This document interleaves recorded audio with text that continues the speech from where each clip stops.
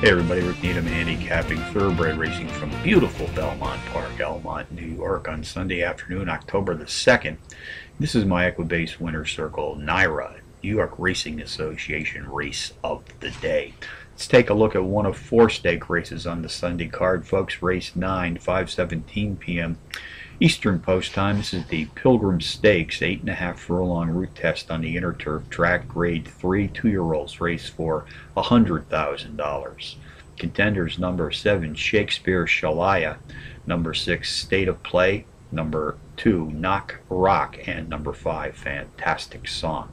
Just a quick for your information, folks. The Pilgrim Stakes is named for the 1919 winner of the Remsen Stakes. Pilgrim was owned by Joseph E. Widener. Here in the 33rd running of the stakes event, number 7 Shakespeare Shaliyah sit the board in power run fashion in both of his two career starts to date, including a power run win to break his maiden his last time out. Jockey Alex Solis was in his arms for that win 13 days ago here at Belmont Park, is back today for his second ride gunning for back-to-back circle trips.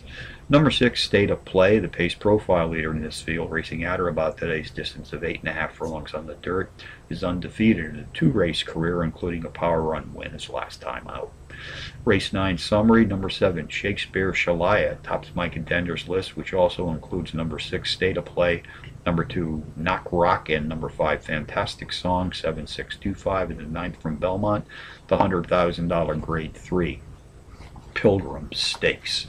Some bonus long shots for you to ponder today. Let's go to Charlestown, race two, the four to one shot. Number three, Honky Tonk Moon drops in class by 15 units. Decent overall speed for this four and a half furlong sprint. Hawthorne Race Course, race five, number two, Miss Jean Louise, a four to one shot, takes a slight class drop.